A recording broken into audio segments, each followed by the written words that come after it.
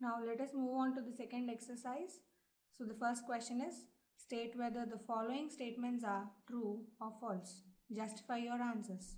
So let us go to the solution. We consider the first statement. The first statement given is every irrational number is a real number.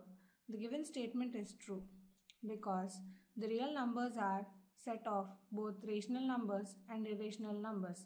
Hence, all the irrational numbers comes under real numbers. Therefore, every irrational number is a real number.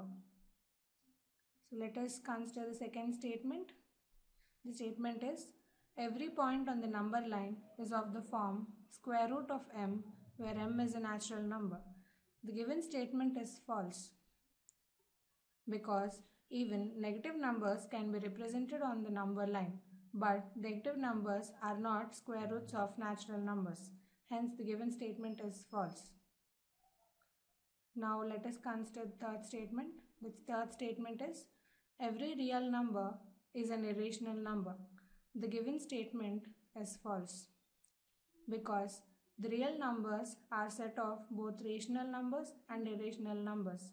For example, let us consider two real numbers 2 and root 2. Both are real numbers, but 2 is a rational number and root 2 is an irrational number.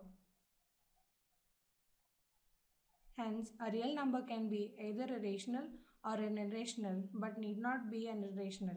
Hence, the third statement is false.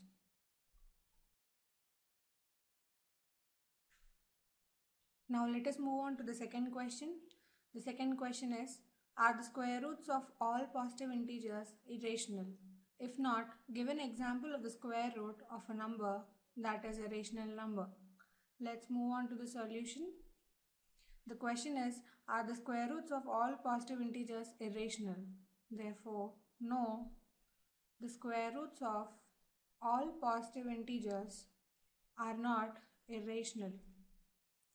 So let us consider two positive integers, say 3 and 4. So we consider square root of 3 which is an irrational number. But when we consider square root of 4 which is equal to 2 is a rational number. Therefore, the square roots of the positive integers which are perfect squares are rational numbers. That is, the square roots of all positive integers are not irrational.